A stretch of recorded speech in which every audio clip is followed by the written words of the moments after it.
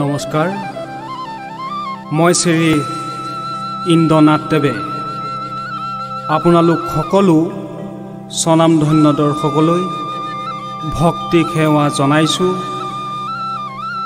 মহাপুৰুষ শ্ৰীমন্ত শংকৰদেৱৰ সৃষ্টিৰাজিৰ সংকলনক মোৰ নিজা মনোভাৱেৰে যথাসাধ্যে যৎকিঞ্চিত বৰ্ণনা কৰিবলৈ প্ৰয়াস কৰিছোঁ।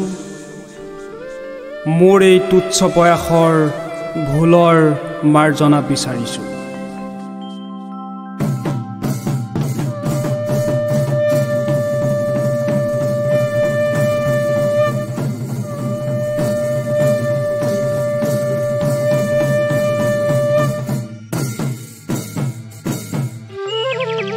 হৰিনাম ৰখে বৈকুণ্ঠ প্ৰকাশে। প্ৰেমৰ অমৃত নদী হৰিনাম ৰখে বৈকুণ্ঠ প্ৰকাশে। প্ৰেমৰ অমৃত নদী শ্ৰীমন্ত শংকৰে পাৰ ভাঙি দিলে বহে ব্ৰহ্মাণ্ডক ভেদি শ্ৰীমন্ত শংকৰে পাৰ ভাঙি দিলে বহে ব্ৰহ্মাণ্ডক ভেদি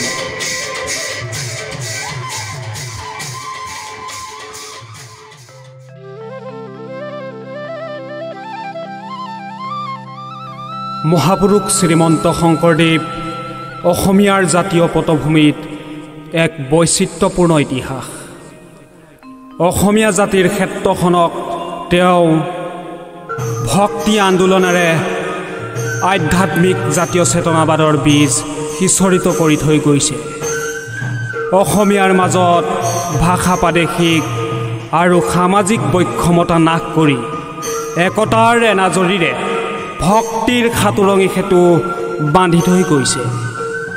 মহাপুৰুষ শ্ৰীমন্ত শংকৰদেৱৰ সৃষ্টিৰাজিয়ে অসমীয়া জাতিৰ ভঁৰাল অতিকৈয়ে চহকী। তেওঁ একেধাৰে বৰগীত ঘোষা নাম কীৰ্তন আৰু ছয়খনকৈ অংকীয়া নাট ৰচনা কৰিছিল। শ্ৰীকৃষ্ণ আৰু ৰামচন্দ্ৰক মুখ্য চৰিত্ৰ হিচাপে লৈ মহাপুৰুষজনাই নাটসমূহ ৰচনা কৰিছিল। মহাপুৰুষজনাই মূলতঃ ভক্তি ধৰ্ম প্ৰচাৰ কৰিবলৈ নাট আৰু অভিনয়ক এটা উৎকৃষ্ট মাধ্যমৰূপে প্ৰৱৰ্তন কৰিছিল। ঊনবিংশ শতিকাৰ লগে লগেই আধুনিক অসমীয়া নাটকৰ জন্ম হয়।